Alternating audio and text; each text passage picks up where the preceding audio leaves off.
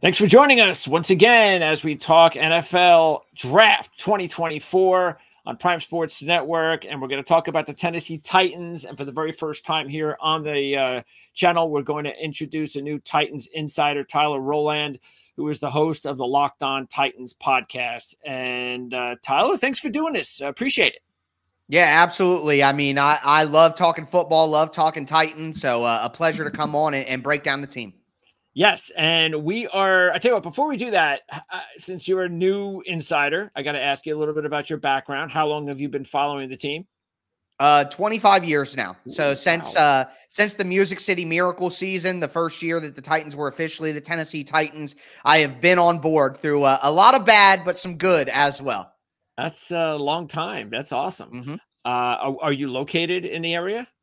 No, I'm actually from Ohio, which it's kind of funny because there is a large set of people my age from my area that are big Tennessee Titans fans. The Eddie George connection, uh, him going from Ohio State to the Tennessee Titans, made an easy bridge for me to be like, hey, I like this guy in college. Now he's on this team. The new jerseys, the new team, the Music City Miracle, making the Super Bowl run. As a nine-year-old kid, it just captivated me. And me and my brother made a made a decision long ago that this is the team we're riding with. Maybe not the best choice I ever made in my life, but uh, I, I say that tongue in cheek because it's worked out very well, and I've turned that fandom into a career. So uh, very very proud of my Tennessee Titans fandom. And yes, it's it's been a long 25 years. and they came oh so close that year. Yep, one so, yard short, of yep. course. Uh, all right. So uh, first of all, draft capital. How is it uh, going into this draft? Uh, the Titans are in an okay spot with draft capital. They have seven picks. Now, they do have two in the seventh round and none in the third round because they traded up for Will Levis last year and gave up their third round pick. So I'd like to see them at some point during the draft maybe make a move back and, and add an extra top 100 pick into the mix. But they aren't in a terrible place in terms of overall capital. All right. And of course, uh, you can uh, check out as we are, uh, of course, posted here on the site the ourlads.com depth chart for Tennessee. We'll have a link in the mm-hmm. description for the depth chart. We're also going to have a link in the description so you can check out the Locked On Titans podcast and uh, also uh, your Tic Tac Titans Twitter handle. So where did that come from? That uh, just- so um, I I have a big emphasis on uh, film. I do a lot of film work. I also have the Tic Tac Titans YouTube channel where I do my film work exclusively over there. But my idea is, uh, I'm a big guy who like, uh, or I'm not a big guy. Let's just say that I'm I'm a short guy, but uh, I, I'm a guy who is big on alliteration. So I love that Tic Tac Titans, the T T T. I love stuff like that first and foremost in my English journalism background. Um, but also, it's focusing on the X's and O's. And where do you find X's and O's? In tic tac toe. So, Tic Tac Titans is a play on that I focus on the X's and O's of the Tennessee Titans. So it's corny, it's cheesy, but oh. you know, I am corny and cheesy and I love it. So uh, very happy that I found that name and, and it stuck really yeah. well. And I think it was the right choice. I, I agree. Absolutely. Okay. So let's go ahead and first of all start on offense uh, mm-hmm. uh, because we have to talk about the changes on offense. You got the new head coach, Brian Callahan. He brings mm-hmm. in the best offensive line coach in the league in Bill Callahan. And that's a huge, I mean, if, if any offensive line in the league needed not just an upgraded offensive line coach, but maybe the best right. offensive line coach we've seen in a long time, it was Tennessee. Yeah, 100%. That was necessary because it's not only a talent issue, it was a coaching issue. They had uh, an okay offensive line coach and Keith Keith Carter for most of the Mike Vrabel era. He went to the New York Jets for the 2023 season, and the Titans made a terrible decision and promoted his assistant, Jason Houghtaling, who was simply not ready for the job. And, and they really regressed. So the talent wasn't there, but the coaching wasn't there either. And, and they fixed the coaching part of it. Now they need to fix that talent part. And of course, that leads us to the NFL draft. Yes, and it looks like there is a even though and here's another thing that's important to note, of course, is that Carthon, the general manager, so this will only be his second draft, correct? Mm-hmm. Correct, okay. it will be, but you could even call it his first draft, honestly, because the reality is last year Mike Vrabel had more say than oh, Ran Carthon. Okay. And there's some conversation within the community that Ran Carthon wanted to take Zay Flowers at number 11, and Mike Vrabel overruled for Peter Skoronski. So this is, in my mind, this is truly the mm. first real draft for Ran Carthon, where he gets to make his own decisions at every step. Okay. And uh, and, and I, I wanted to note that because there are several players, of course, we'll see in here that were drafted 21, 22. Mm-hmm. These are not Ran Carthon players. So uh, that's why it'll be interesting to see exactly how uh, they handle these guys. So let's mm-hmm. start on the offensive line, and and one of them is is penciled in right now at left tackle. We know he's not uh, going to be the starting left tackle if the Titans can uh, do anything about that. Uh, that's right. Petit Frere. Uh, you also have Dylan uh, Radunz, and I have to ask you about Dylan because um, statistically it looked like he had a better year last year. Mm-hmm. But you said on our other video that you believe that the team needs not just one but two offensive tackles in the draft. They did trade for Watson. That's just, I'm sure, a depth right. piece. But so now they've got potentially four depth pieces, maybe five. But you're saying they don't have two starting caliber tackles. No, no, I don't think so. And look, Dylan Radunz is a guy who I was a big supporter of when he was drafted.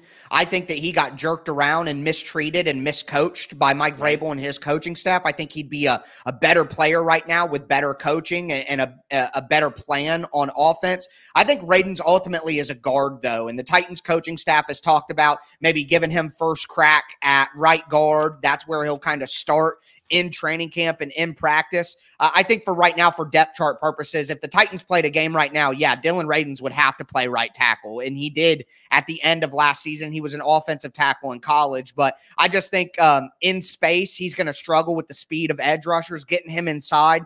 And he really showed an improved strength last year coming back from an ACL tear uh, in his second season. So I think that I think ultimately Dylan Radunz could push to start at right guard if the Titans add better talent at offensive tackle in the draft or in later free agency with some of the veterans still out there, like a Mekhi Becton and Andrus Peat. You know, there there are names out there that could come in uh, during the summer and take that right tackle spot. But uh, I, I, think Radunz ultimately could slide in and be that starting right guard. Daniel Brunskill would save them $2 million if they were to cut him. And uh, Daniel Brunskill is a good player, but he just wears down and gets injuries late in the year. And he was in and out of the lineup at the end of the year for performance and for injury. So I think a young guy like Radunz with his strength may be a better fit there at that right guard spot going into oh. the season. But for right now, I mean, if they, again, if they played a game today, Radunz would have to be their right tackle. Well, the the really cool thing is is that like you were saying that maybe with better coaching, this and that. Well, mm-hmm. Callahan's there now, so yeah. maybe he is exactly what Radunz needs to turn his career around as a right tackle, or who knows? Like you said, maybe as a right guard. But either way, either way, he'll he'll start more. Than, is what you're saying, whether it's going to be at right guard or right tackle. Well, I, I, don't think that it's, you know, confirmed that he's sure. going to be a starter. I believe that he has that ability, but okay. I definitely think he's going to be able to compete for a starting spot, especially on the interior at that right guard spot. Right tackle, I'm, I, you know, with the different coaching staff, Ran Carthon said they had to throw out their draft plan with Mike Vrabel because this coaching staff wants such a different thing uh, at all these different positions. So it'll make it interesting to see how some of these guys develop, where they get used ultimately, and how the new coaching staff views them. There's a lot of unknown there, but I do believe that Dylan Radunz has the potential to be a starter, starting offensive lineman in the NFL. I just think it's more likely to be right guard than right okay. tackle long term. And look, bottom line is, is it's going to be very hard to find two starting caliber tackles in one draft. Most likely. Just, yeah, it does not happen very often uh, even though it could happen. I mean, just take a look at Cleveland last year when they drafted an offensive tackle. What third round, I believe, Jones went. Uh, he, he turned Jones, out pretty I think well. that was that was I, Seattle did pretty good a couple years ago when they had That's Charles right. Cross at left yep. tackle, and I'm I'm blanking on the right tackle's name, but they got two decent starting tackles in one draft. Again, with Bill Callahan, you know the, the saying is all things are possible through Jesus Christ. I say all things are possible through Bill Callahan, so I'm there not ruling go. anything out right now.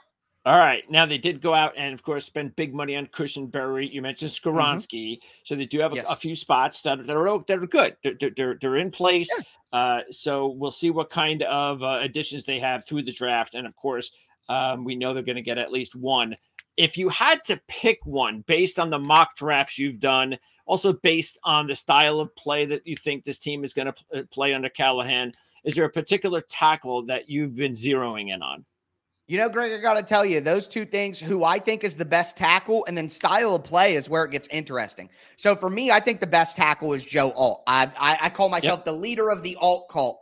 Uh, on Tennessee Titans Twitter because I think that Alt is just a plug and he may not have the high end potential of some of the other tackles that could get drafted high, but he is just a consistent plug and play eight to 10 years, you're starting left tackle. And I think that the Titans need to go safe with what they've gone through at left tackle the last few years. So Joe Alt is my number one option for the Titans. But of course, you have Olu Fashanu, who probably has more high end upside, isn't as good in the run game, isn't as technically sound, but has just more raw talent.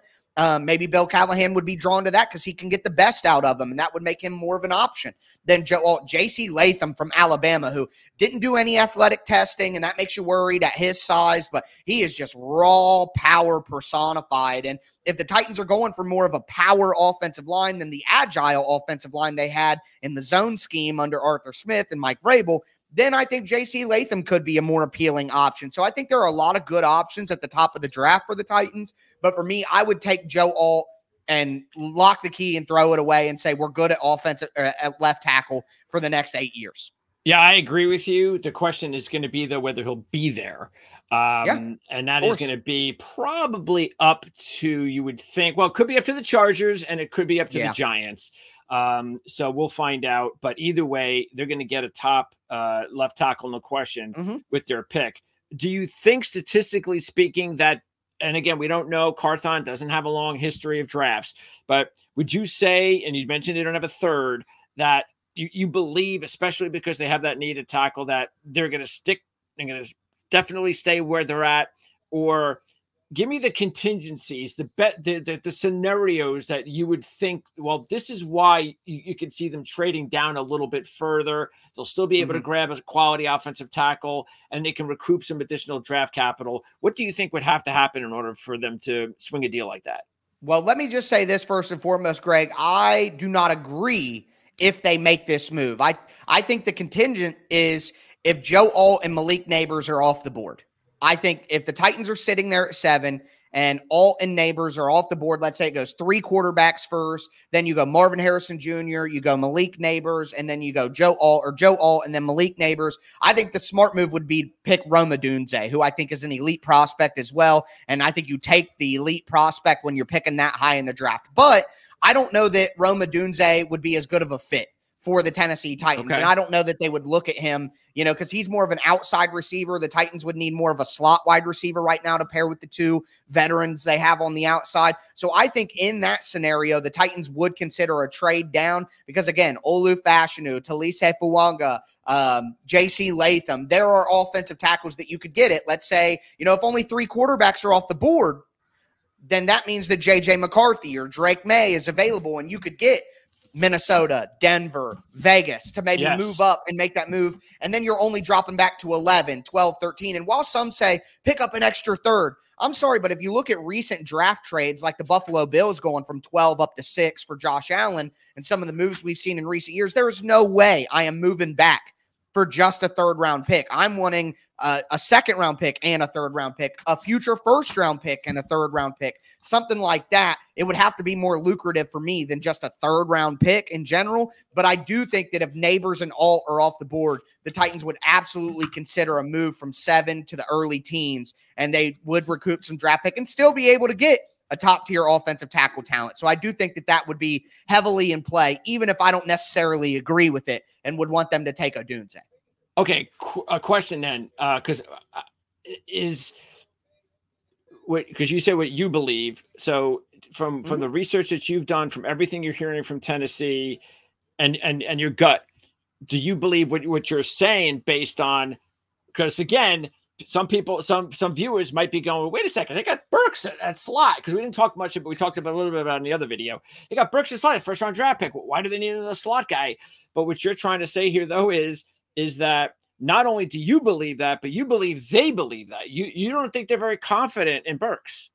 100%. And recently we heard from the coaching staff and Brian Callahan, Titans new head coach, even said we need someone to emerge in the slot position. And he didn't even mention Treylon Burks. He mentioned Kyle Phillips and Mason Kinsey and Nick Westbrook-Ikhine, even though Treylon Burks played 70%, 77% of his snaps in college in the slot. So I don't think they see Treylon Burks as a slot receiver in this offense, which wow. I, I mean, I, am surprised by that as well. But the other reality here is Treylon Burks has done nothing to to inspire hope that he can be a first round receiver. We can say that all we want, but you know, just because he was drafted in the first round doesn't mean that he's a first round caliber player. And yep. he's had a ton of injuries throughout his first two years. He's a guy who doesn't really know the playbook very well. He's been out of shape at different times during his career with the Titans. So he just doesn't seem like someone who is fully committed and focused on being the best football player he can be. And with him not being a draft pick of Ran Carthon and him not being someone that this coaching staff is committed to in any way, I, I personally think the Titans would be better off to trade Treylon Burks for a day three draft pick and just cut their losses and move on. I have said all off season, you cannot factor Treylon Burks into roster decisions. He's given you nothing. So wow. I think it would okay. be wise for the Titans to ignore his existence. And if you get something out of him, then great. But I'm not counting on him for anything, and I can't pencil him in as a starter for this football team right now. Interesting. That's great. Uh, because I know there's a lot, and, and I'm sure we did the same exact thing on our mock draft shows, and I'm sure there's mock, mm-hmm. tons of mock draft shows outside of Tennessee who probably just looked at that depth chart and go, well, they don't need a receiver in the first round. Right. So, um, uh, like I said, and not, not joking aside, but this is why it's great to have uh, insiders like you on, and um, uh, this is the kind of information we're looking for. Uh, by the way, uh, speaking of offensive line, before we move out of this, and I was talking about um, uh, Dawand Jones. Hey, mm-hmm. Dawand Jones was drafted in the fourth round last year, so yep. and became a starter. Bottom, and I know there were injuries, but well. he good. So yeah, he played well. All that's so what that's saying is, is yeah, maybe if any if any team with any coach can can if they use a first rounder, of course, on a tackle, and then use mm-hmm. another pick on a tackle in the third or fourth round, yeah, why can't the Titans have two new offensive tackles, even though if they're rookies in 2024? I could definitely see that happening. And maybe the guy that fits Dawand Jones the most, and it'll be interesting to see where he goes, is the kid Mims the other yeah. big mammoth tackle from Georgia. So that could be very interesting. They might look at exactly how uh, how he was able to mold Dawand Jones into a mm-hmm. really good player, and now you get another Power Five big time program tackle like Mims. Be interesting to see exactly where he goes. You would think he's still a first round draft pick because of the size potential. There's no way he gets out of the first round. But um, you know, again, we have we've only seen one draft of Ran Carthon. Did he make any trades last year during the draft, either to go up or down? Yeah, they did move up in the second round to go get Will Levis. So they the third round pick that they don't have right now, they traded up from their spot in the second round, moved up to get Will Levis. Um, so I think that was a smart move. Uh, yep. The Titans would be in a bad spot right now if they hadn't done that, you know, because Tannehill really fell off the map so they did make a trade up, but with the situation that they're in right now and with having a new coaching staff, they're going to want to turn over the roster a lot. And a lot of the guys at the back end of the roster for Mike Vrabel and his staff are not going to be fits, and they're going to want to get their own young guys in to develop them. So I think the Titans want to have as many picks as they possibly can, even if they're later picks, just to get new blood, new life into the roster that fits better with the new coaching staff. So I think the Titans are really a candidate to trade down. I've said I don't want to trade down at number seven in the first round because I want to take a blue chip prospect and make the losing worth it. Get one of those top tier prospects, like I was talking about with Rome Odunze. Just take him. Don't yes. trade down. Just take him. Uh, but a trade down in the second round, if they can go from 38 to 45 to 55, somewhere in there, then you pick up a late, you know, third round pick in the 80s or the 90s. Get another top 100. I, I think that would be a great move for the Titans to do. So I think rather than trade up, I think a trade down would make a lot of sense. And like you said with Mims, just to touch on that, this is one of the best offensive tackle classes we yes. have seen in recent memory. So if yes. there's ever a year to like a guy like Javon Foster from Missouri with 2,700 snaps at left tackle in his college career, he's probably going to be available in the fourth round. Like, yeah. I, I just think there are a lot of good options on day one and day two to add to the offensive tackle class. Who do you think uh, has a really good chance? Who would you give the best chance on the line as far as the young kids? All of them, because now with Callahan there, it's a clean slate. Uh, mm-hmm. Who do you give the best chance, including Duncan? Who do you have the best chance that you might be able to see them actually turn out to be better than they look right now? You know, honestly, I'm going to go with Leroy Watson, the guy they just traded for. He was an undrafted free agent in 2022, was on practice squads, got picked up by Cleveland late in the year last year when they had all their struggles, and he came in and he performed better than their their offensive tackle Geron Christian. Um, so Leroy Watson is a converted tight end. He was a tight end in college who converted to offensive line at the NFL level. Great athlete, and Bill Callahan worked with him last year in Cleveland.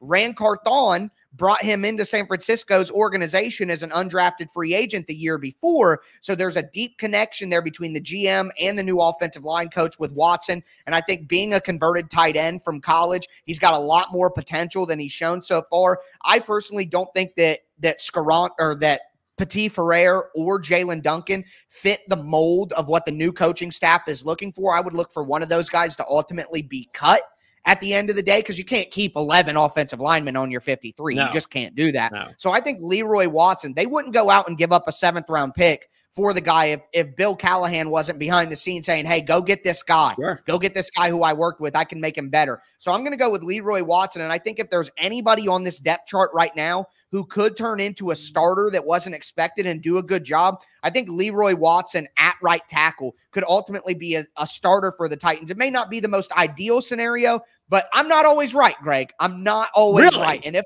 and if I am wrong, I think that Leroy Watson could ultimately be a starter for the Titans this year. Um, even if it would still be a spot you want to upgrade, I think he could be better and surprise people based on just the faith that Bill Callahan and Ran Carthon have shown, giving up a seventh round pick to trade for him. That tells me a lot.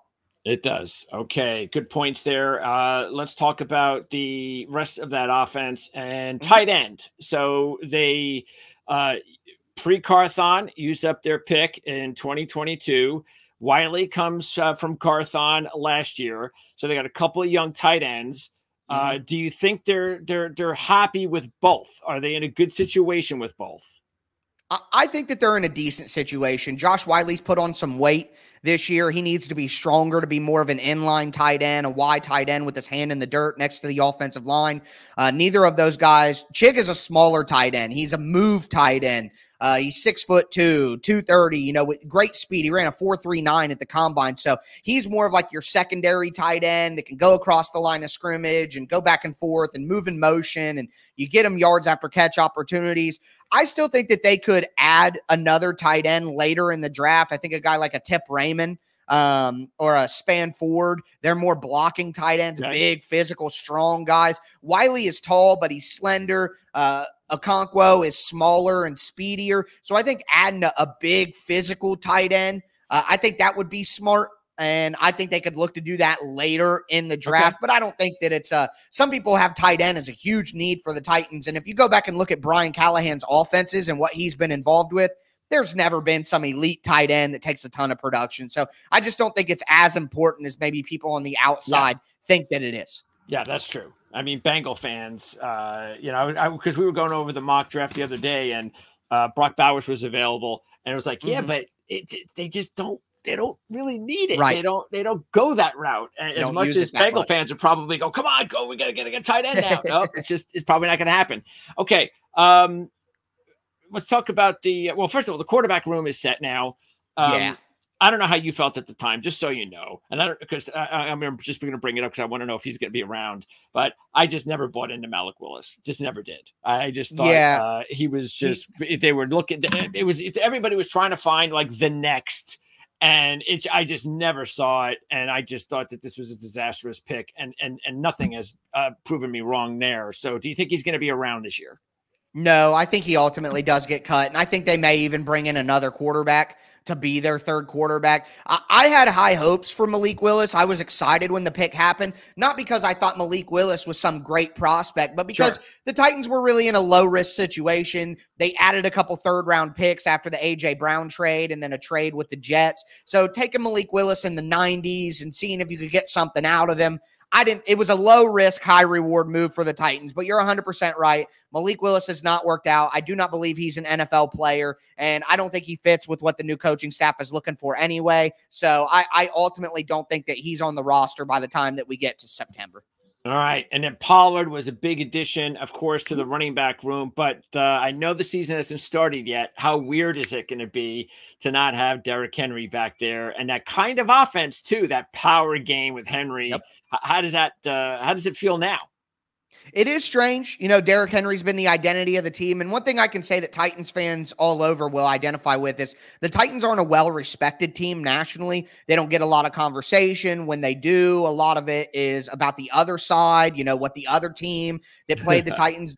The Titans beat the Chiefs. Oh, the conversation is, are the Chiefs messed up? Not, yeah. uh, congrats to the Titans. So sure. that's just a, a reality. And Derrick Henry helped the Titans have a face and get respect in the national media. And while that stuff doesn't matter to wins and losses, as a fan, it's an entertainment industry. You want to see your team talked about, and you want to see your team talked about well. Um, I don't think that it's wrong to say that. So it is strange, but ultimately, Derrick Henry is a one trick pony. Now, that one trick is oh yeah incredibly elite, but yeah. he does give you a lack of of or he does make you more predictable as an sure. offense when he's in the backfield. And I think having Tony Pollard and Tyjae Spears, who are very similar players in style, and they actually communicated with each other before they ever knew that they were going to be on the same team. They have very similar skill sets. And the coaching staff talked about this recently as well the running back in the backfield isn't going to tell you anything about the play that they're about to run. And having that lack of predictability, I think, will help make the offense more explosive. The loaded boxes were very helpful when you were running that play action glance sure. to A.J. Brown over the middle,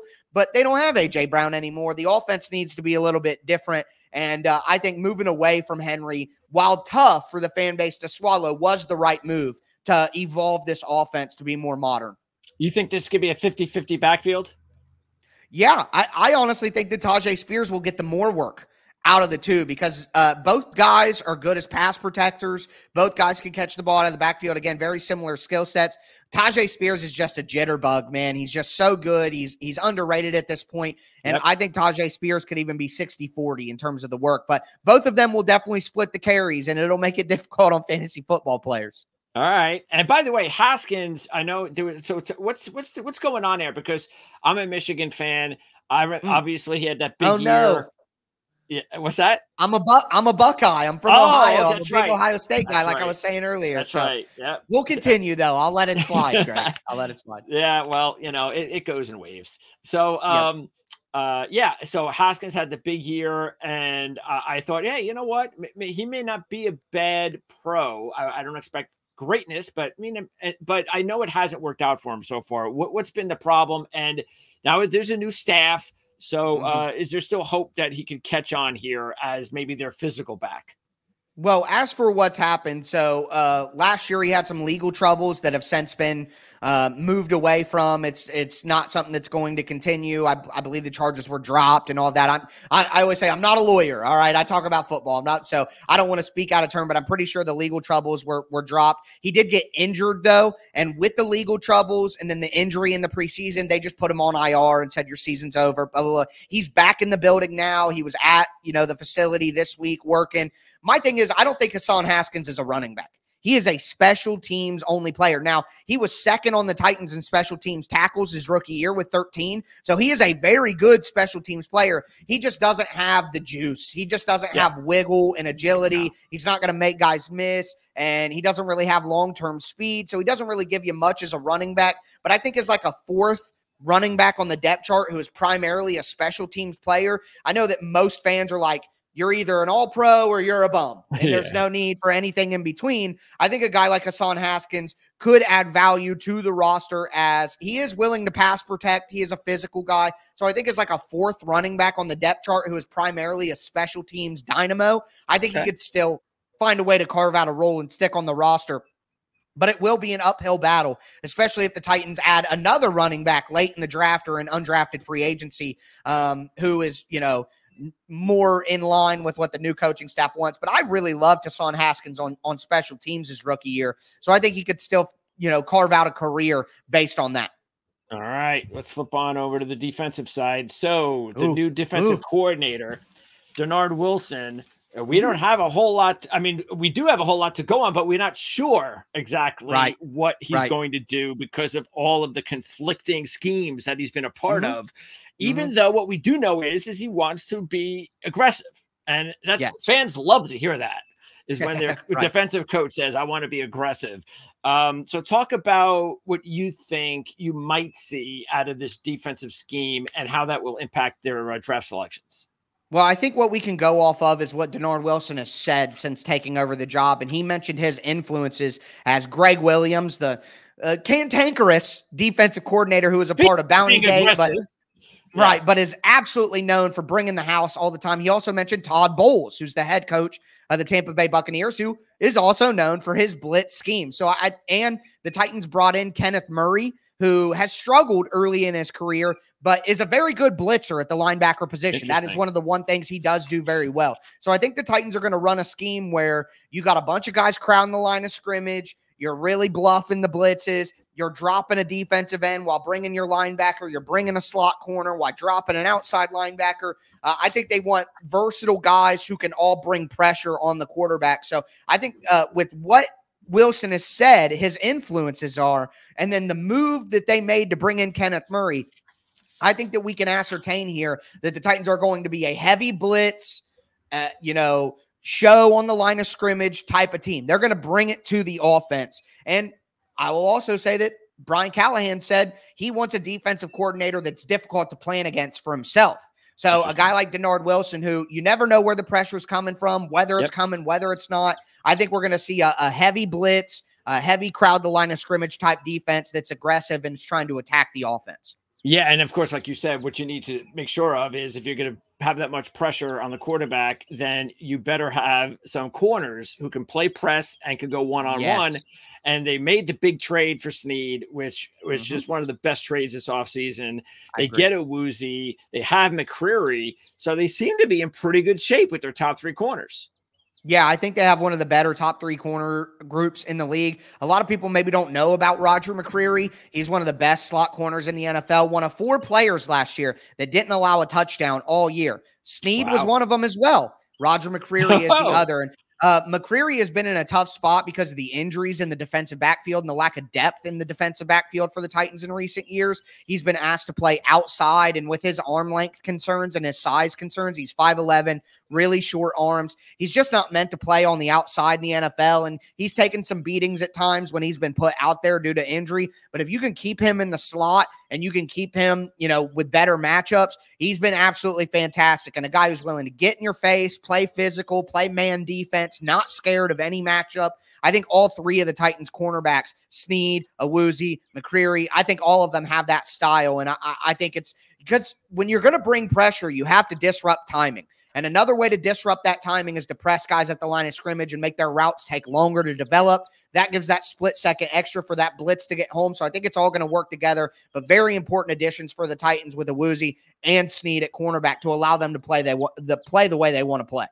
All right, and then uh, taking a look though at the rest of the corner situation, uh, and that's where you would think that the team is going to add some depth. Farley, mm-hmm. of course, is the one that sticks out.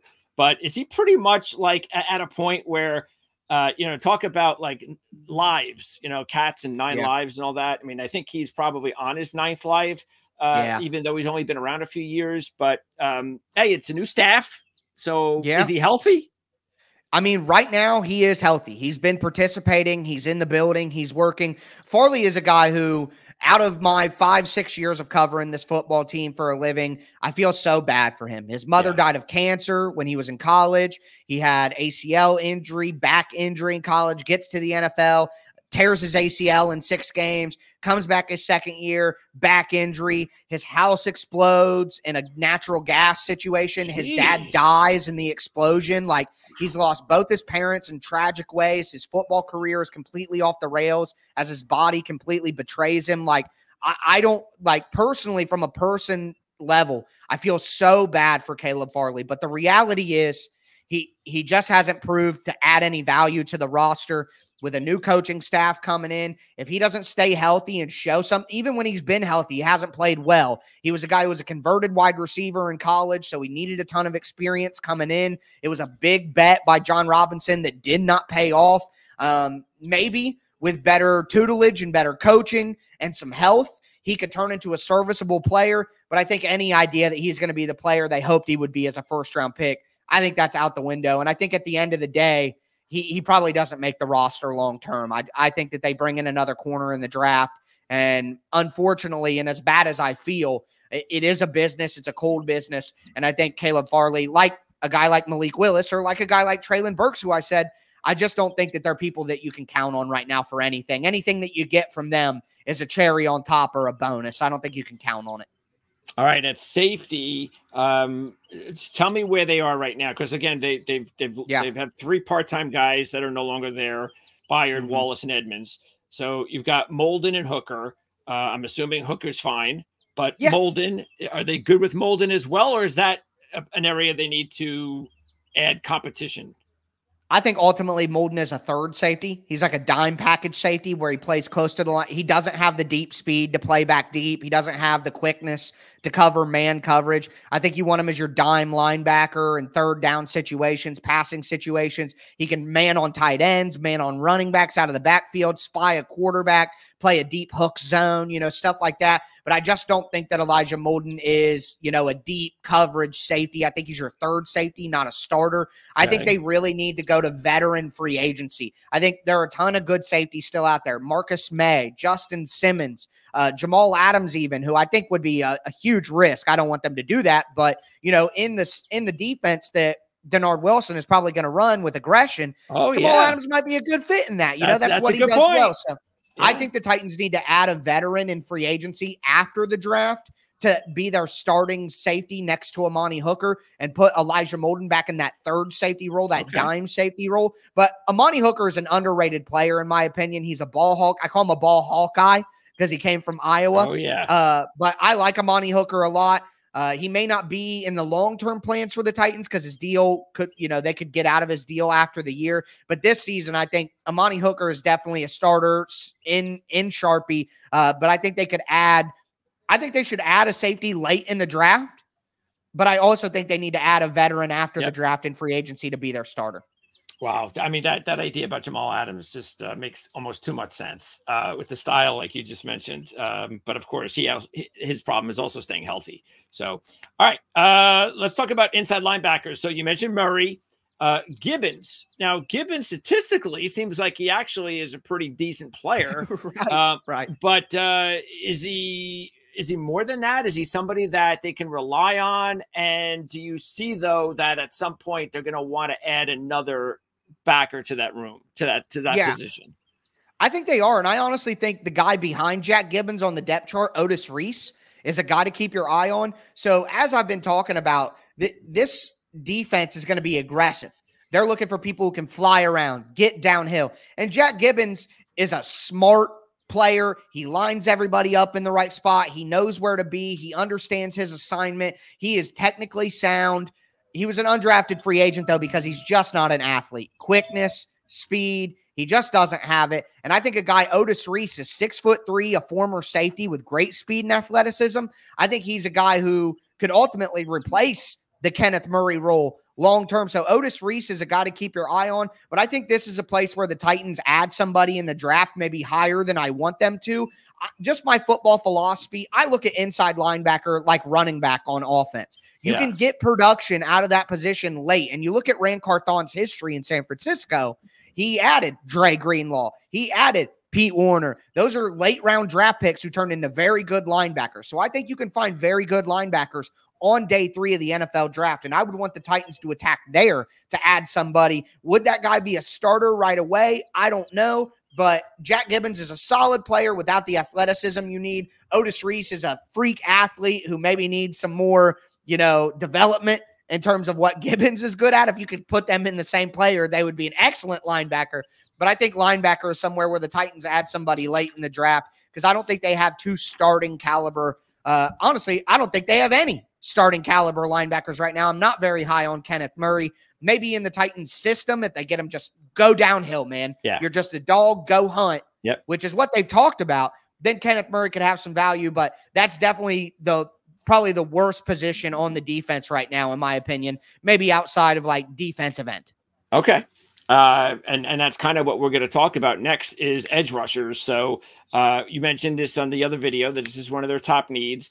Uh, yes, mm-hmm. they've got Landry, even though Landry has never like turned out to be some superstar edge rusher, but he is what right. he is. and Arden Key is a nice. Uh, probably pass rusher only type guy that you want on your yeah. team. You don't want him to do much mm-hmm. more than that. I think you would agree with that. And that's the reason mm-hmm. why you don't really see a whole lot more than that, that this becomes the need that you talk about, you talked about. It's also a long, uh, you know, you got to think when you're drafting, you can't just think, oh, what's the depth chart look like this year? We got to fill it. Yep. You know, like that. You got to think long term. And Harold Landry, you know, may not be around after next year. And Harold Landry's getting older as well as a draft pick in 2018. He's no spring chicken. Landry is like your consummate you know, 10 sack guy. He's going to yeah. get 10 to 12 sacks, maybe 13 if he stays healthy all year. He's not Myles Garrett, TJ Watt, guys in that realm. He's he's a couple couple tiers below the Brian Burns and you know, uh guy who just got uh paid big time for uh Josh Allen for the Jaguars. He's a step below those guys. He's just a he can drop in coverage as well. He can play 4 3 outside linebacker, good against the run. He's just a very solid guy who could give you double digit sacks. But the Titans need a top tier pass rusher. And, and maybe they're not going to get that in this draft if they go in the second round, which is where I want them to go for an extra edge rusher. But they could get a solid player who can be a starter, and you pair him with Harold Landry for the next two years. I think you have a good edge rush group. Arden Key slides back to that third edge rusher role who could bring that energy off the bench. I think they're okay at edge if they add somebody early in the draft, but definitely a big need long term, and they have short term desires for that as well. So that's why I put it as such a big need for the Titans in our previous video.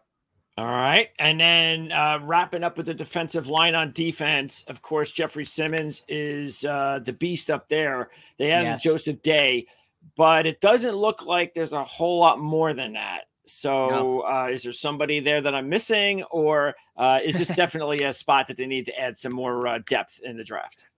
Definitely need to. Quite honestly, I made jokes all year last year. Quinton Bohanna, uh, Keondre Coburn, like, are these made up Madden players? I don't even know. Uh, all jokes aside, no disrespect to those guys. I'm sure they wouldn't like hearing that. But at the end of the day, uh, none of those players you see, even TK McLendon Jr., what are we, you know, what are we doing here? Like, that cannot be a starter. He may not even be a rosterable player. Yeah. Like he's a practice squad level guy. So the Titans definitely need to add.